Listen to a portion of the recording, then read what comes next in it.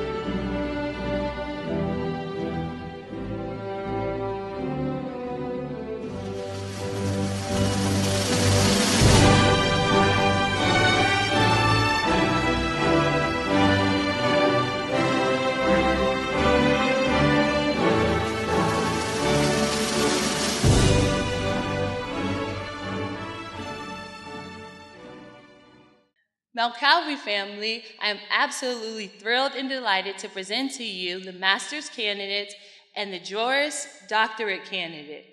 Praise God for the awesome things that He has done and is continuing to do in our lives here at Mount Calvary.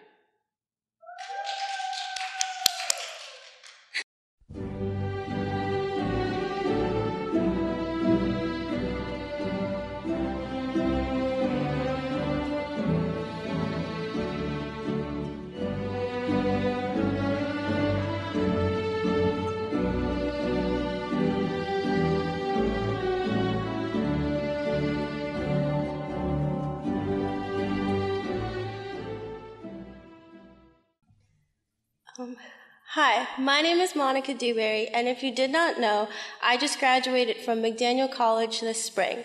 It's been a long four years, but I've grown so much during this time, and I've become a completely different person than who I was in high school and even freshman year of college. I've become more mature during this time and also become more in tune with who I truly am than ever before. I thought I'd take this time to give some advice to all of you that have just graduated from high school and are moving on to the new world that is college. Even though there's a pandemic going on and the overall school experience is a bit different right now, I hope that you can still take some of my advice to heart and use it to make being at your new school seem a bit less scary. My first piece of advice is to be yourself. Obviously, you can always change up your style or what you like and dislike if you find something new that you're into, but make sure that you're doing it for your own enjoyment and not to fit in with someone that you'd like to be friends with. I honest, I personally have changed a lot these four years. I honestly feel like I'm a completely new person now. I have a newfound sense of confidence, and I've been more interested in showing my personality through my retro thrifted tees and bold patterned sweaters. Being in a new environment, being more on my own, and also not having to wear uniform daily anymore left me to be able to find myself without feeling like I need to be like everyone else. College is also a bit different than high school just in general, since people don't care as much about what you're doing since everyone is on their own paths.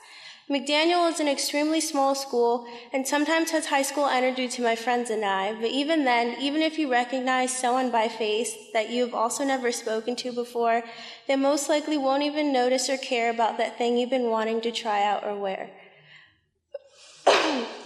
Another tip is to make long lasting friends. Just like in high school, your group of friends will naturally wax and wane through these years, but don't let that discourage you. In freshman year, I was in this gigantic group chat with about 15 people from my year in it, but now I only talked about five people who were in it before the chat became inactive. I also have an even closer core friend group that I've had the amazing opportunity to live in an apartment with this school year, well, before we all got sent home mid March. I'd say to think about what type of person you'd want as a friend and if they'd be beneficial to you in the long run without being a bad influence in terms of the, your grades or the way that you'd portray yourself to the other students and professors around campus. Similarly, understand what traits a positive friendship has. I've been bogged down by a few people that only thought of themselves and brought everyone else's mood down through their actions, which held us all back as a result. People in college are usually super friendly, though, so this would be the minority of people that you might meet around your school. How you make these friends is all up to you. An easy way to join an easy way is to join a club or be on a sports team, but I've met new people in interesting ways. I've also made friends that I still talk to today through people that I already knew, so just be open to trying new things and taking spontaneous trips with others that you've gotten to know. Who knows? They could become the people that you live with during senior year, just like how my friends had become. Lastly, and most importantly, I would say to work hard, work as hard as you can, and try your best in your classes so you can get good grades. I wouldn't say college is too much harder than high school. I mean, generally, since depending on your major, it could get quite difficult. But it does have some higher expectations than what was expected back in high school. Your grades not only matter just to pass the class, but it also is even more important because it shows how well you understand what you are learning about your future career choice. If you just skip a bunch of classes and do the bare minimum on your assignments, think about how that will hinder your future opportunities and most importantly, your own confidence about what you want to do with what you're learning. If you need help with anything, you can always ask your professor or advisor depending on what the topic is. Just because you're not in high school doesn't mean you're forced to do everything completely on your own now. I can't speak for all schools for this, but my school also had a group that would help you if you had a disability that hindered you from being able to learn or live on your own. Your school most likely has something pretty similar too, so search for that if you need some extra assistance in that aspect. Just know that in general that you are never alone. You not only will have future friends, professors, and your church family that will support you in your journey, but also God who will keep you on the right path if you're feeling unsteady. Deuteronomy 31 6 says, Be strong and courageous. Do not be afraid or terrified because of them. For the Lord your God goes with you. He will never leave you nor forsake you. Being, a completely, being in a completely new part of your life may seem scary at first, but with all these people being behind you and backing your educational experiences, know that you are loved and prayed for. Congratulations, class of 2020.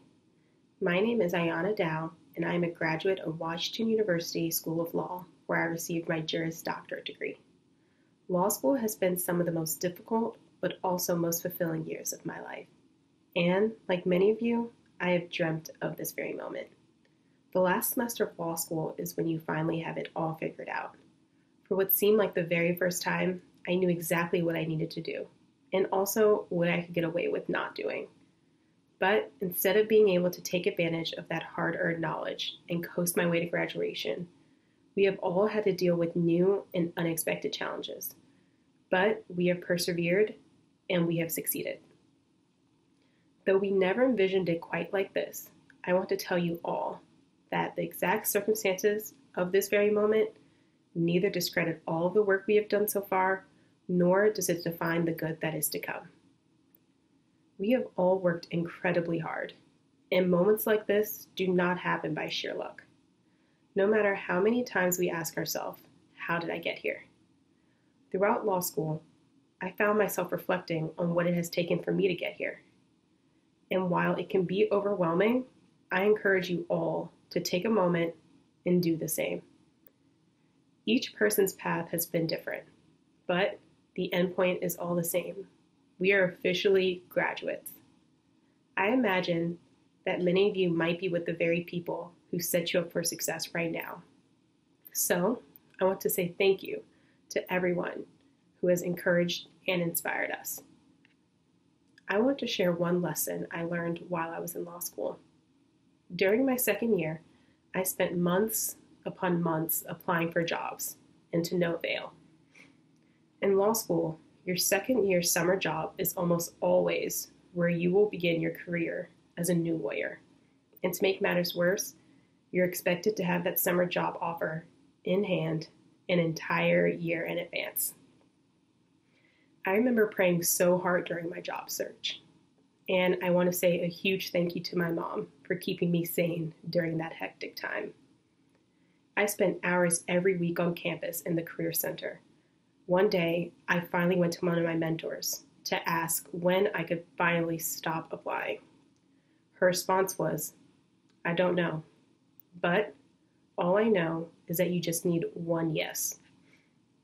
By the grace of God, I got that one yes a month later, and that one door opened, which led to even more opportunities. In these moments of uncertainty, let me offer some certainties. You are ready for the challenges you will face. You have the tools. This community, your friends, your family, our Mount Calvary family will be behind you, cheering you on every step of the way. I don't know where each of our future careers will go, but I do know all of us have what we need to get to the next step. There are a million ways to define success. For me, I hope to be the reason that someone else chooses to go to law school, especially if that someone thinks that the legal profession is not for them, whether it's because it neither looks like them nor carries their background. I encourage you to adopt this marker of success and to consider whose voices your future careers can amplify. I cannot wait to see what you all will accomplish. Congratulations, class of 2020. We did it.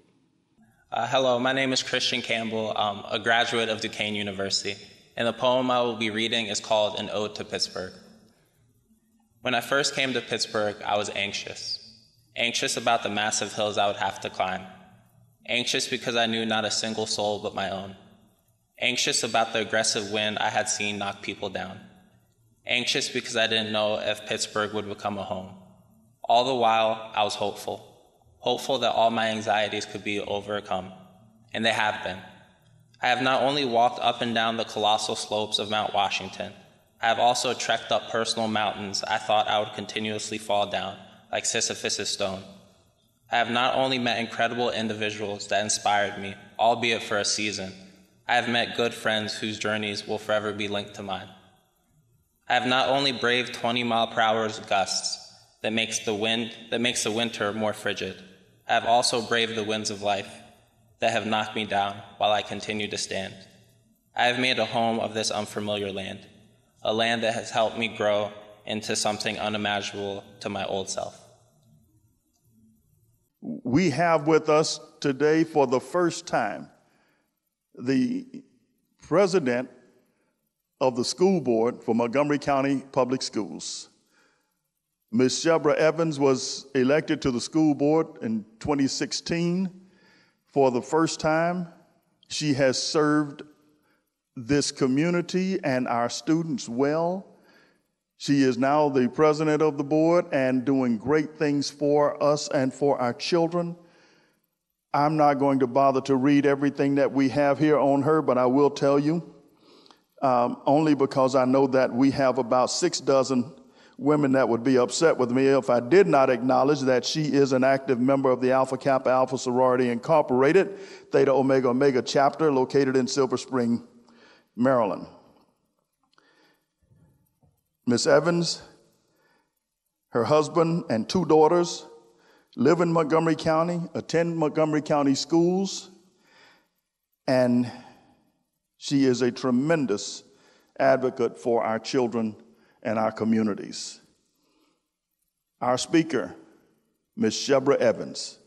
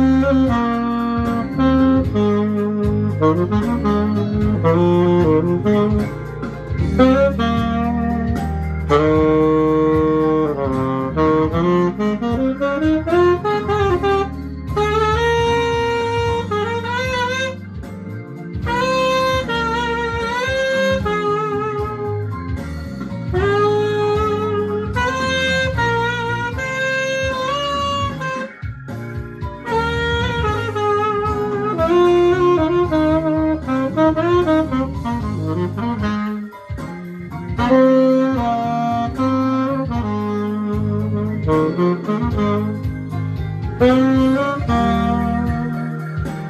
you.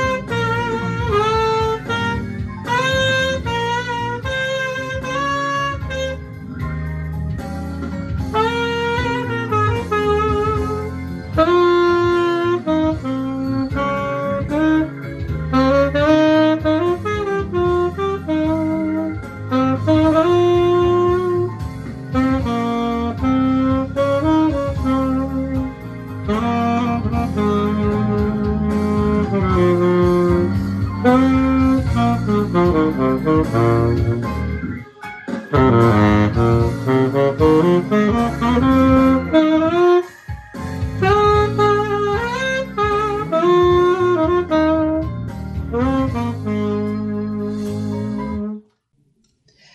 and foremost, I want to give praise to our Lord and Savior, Jesus Christ.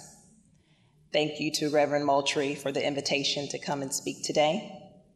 I also want to acknowledge the Board of Trustees, the Deacon Board, and the entire congregation. It is my pleasure to speak at the baccalaureate service today.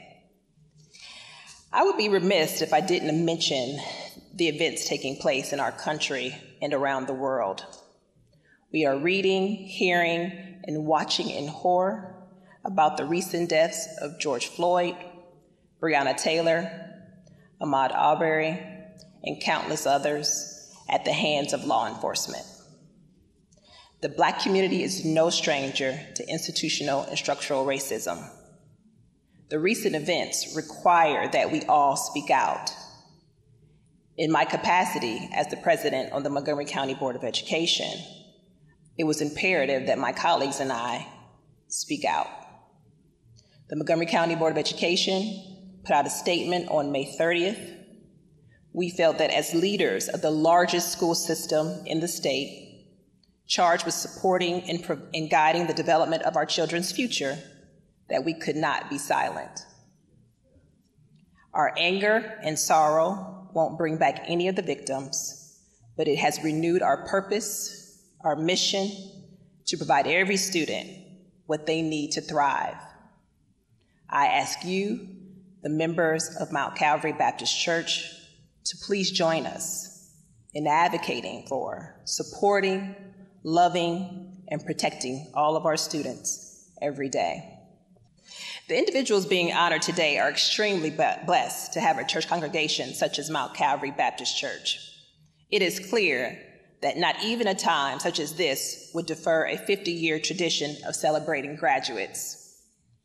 The baccalaureate worship experience is recognizing high school students, college graduates, and recipients receiving advanced degrees. Congratulations to you all. I was told the teenagers came up with the theme for today's service Blind Faith, all 2020, period. I like that. COVID 19 has gripped the nation, and I thought your theme was very befitting for a time such as now. Our governor, Larry Hogan, proclaimed a state of emergency and health emergency in the state of Maryland on March 5th, renewed the proclamation on March 17th, and renewed it again on April 10th, and it still exists. We have watched the number of cases in Maryland increase to 58,404, and in Montgomery County, the confirmed cases are up to 12,818. At least that was the number when I last checked. And the number of deaths continue to rise. The stay at home order took effect to protect us from anyone infected with the virus because it can be transmitted through a cough, a sneeze, or even while talking. I'll tell you what, this is allergy season and I cough a lot. And right now, people are giving me the side glance because the virus, I could be a carrier. We were advised to keep a social distance of six feet between ourselves and others and avoid crowds, avoid handshaking, avoid hugging, avoid non essential travel, no church, work from home, and begin distance learning for elementary, secondary, high school, university, and college students. As of June 3rd, the state of Maryland moved into stage two of recovery. Masks should be worn in indoor public areas, in retail stores, and on public transportation. Uncertainty can tend to make people anxious. We don't know when we will have a cha- when, when we will have a vaccine. We don't know when it will be safe to open schools. Most importantly, we don't know what our new normal will look like in the coming days, weeks, months, or in the foreseeable future. There are so many unanswered questions. The things I am certain of, and if you were here with me today in the church, I believe I would get an amen, is that one, God is with us. And two, He made a promise for our life and that was never to leave nor forsake us. I found a scripture that I wanted to share with you today. Please find your Bible or just listen as I read Genesis chapter 8, verses 6 through 19 in the New International Version.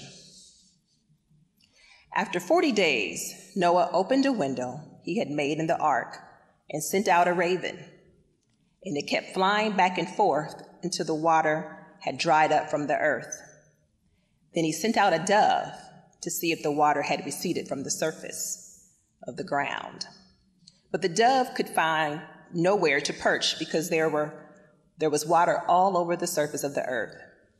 So it returned to Noah in the ark.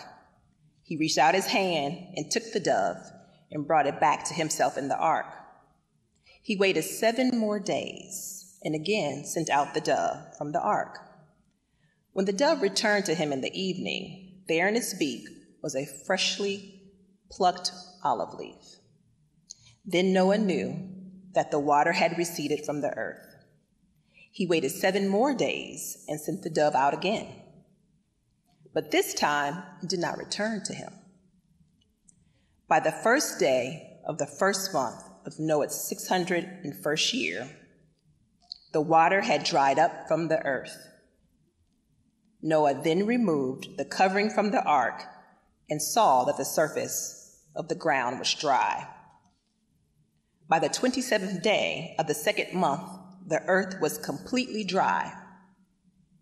Then God said to Noah, Come out of the ark, you and your wife, and your sons and their wives. Bring out every kind of living creature that is with you the birds, the animals, and all the creatures that move along the ground, so they can multiply on the earth and be fruitful and increase in number on it.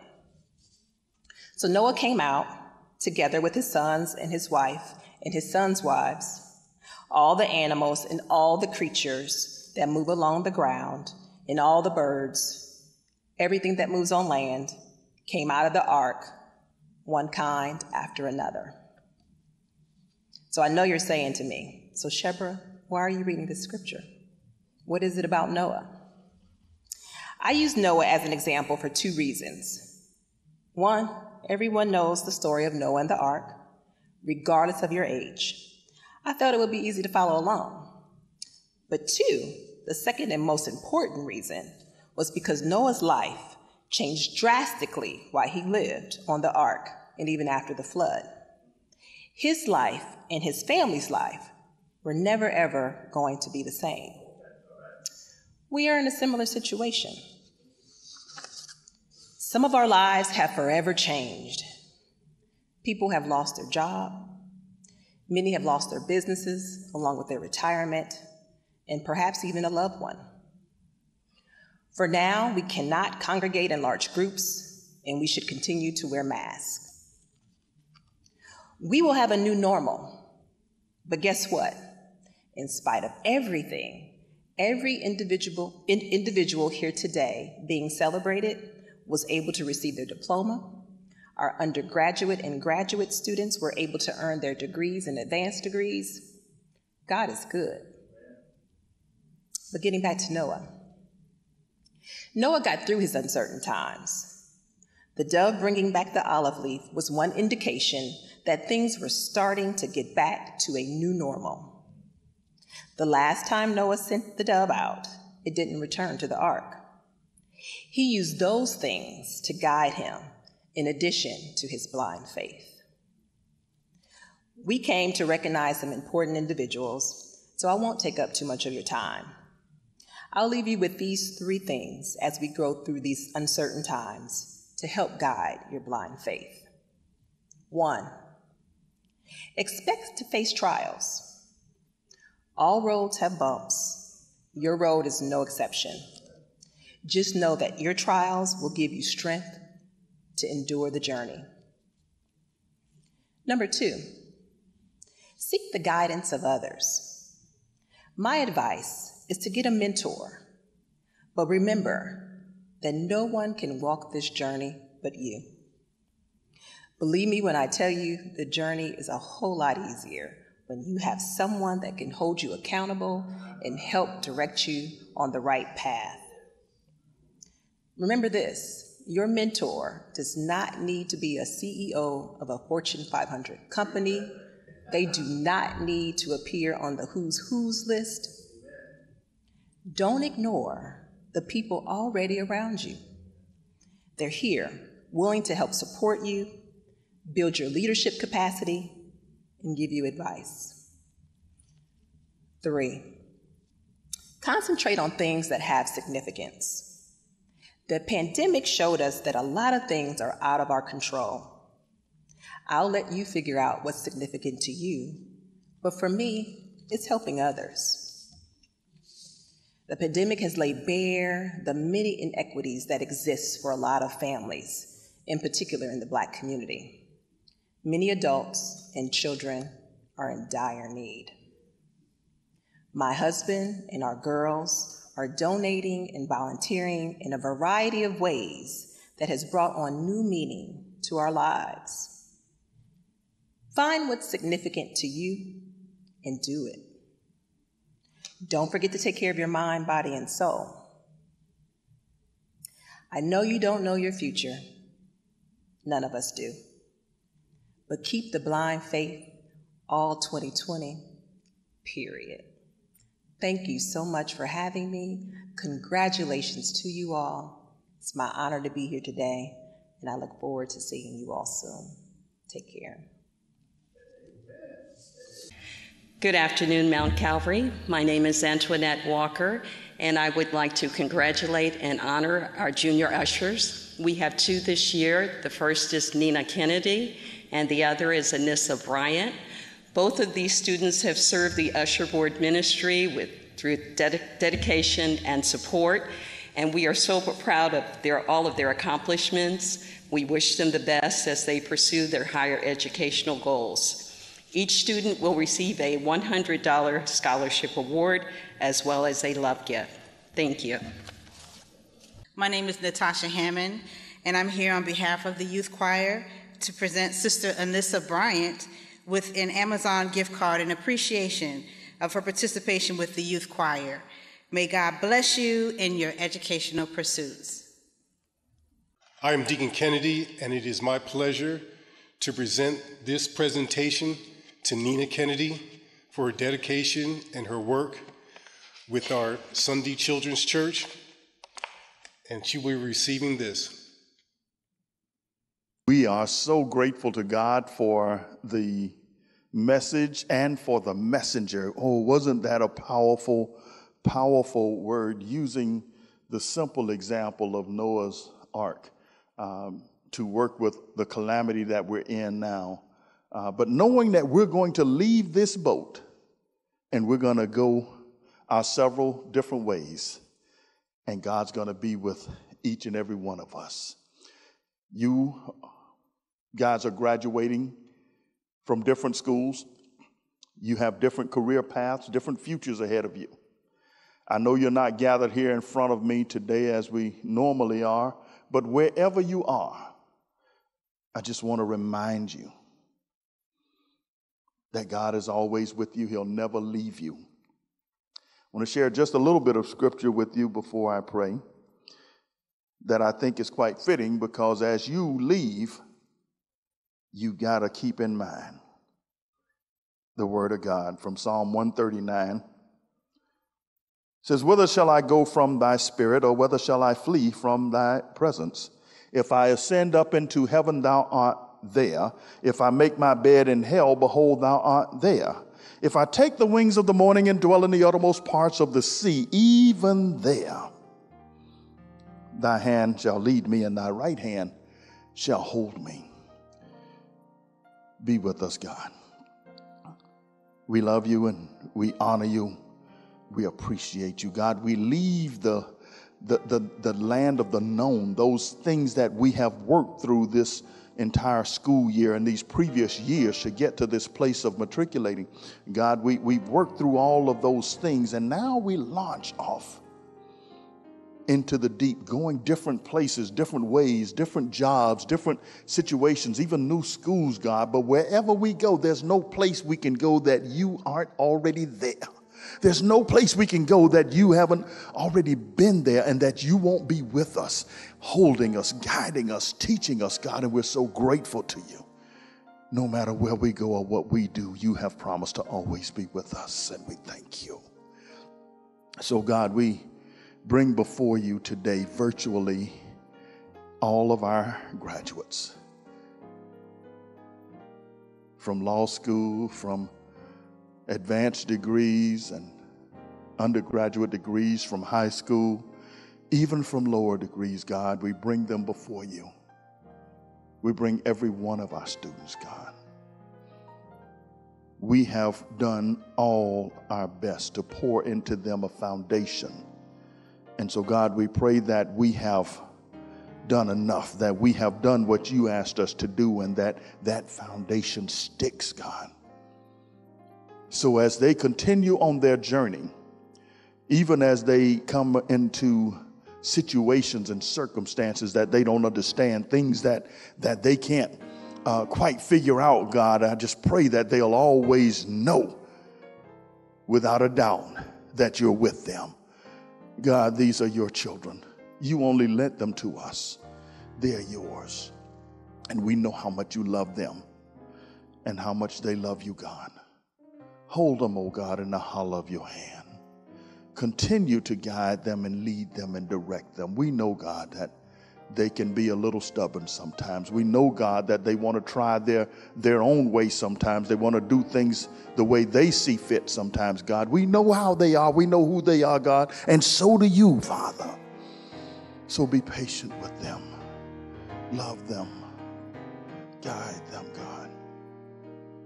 Knowing that they'll get through this and they'll always turn back to you. And as you lead them, into that place of greatness, that place that you have for them. We pray, God, that they'll never forget you, that they'll always be willing to give you the glory, the honor, and the praise. We pray, God, that even as they soar to the highest heights of the corporate world, of government, of the medical fields, whatever path it, it's on, God, the military, wherever that is, God, as they soar we pray that they know that they're not soaring under their own power, but it's you. You that's sustaining them and keeping them, God.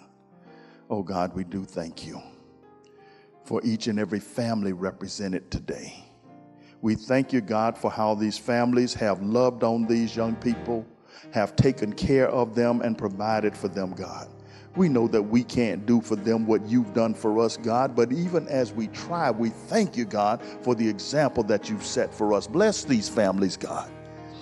We pray that you would just give back to them tenfold all that they've sacrificed for these young people, God. We pray, God, for the one that goes forth today a little timid and afraid, a little shy. We pray, God, that you just lift them up, reassure them, reaffirm in them the great love that you have for them and all of the power and authority that you have placed within them. We pray, God, that you would just reassure in each of these families that as these children move on, that they're not losing family members, God, but they are advancing the kingdom. So, God, we pray that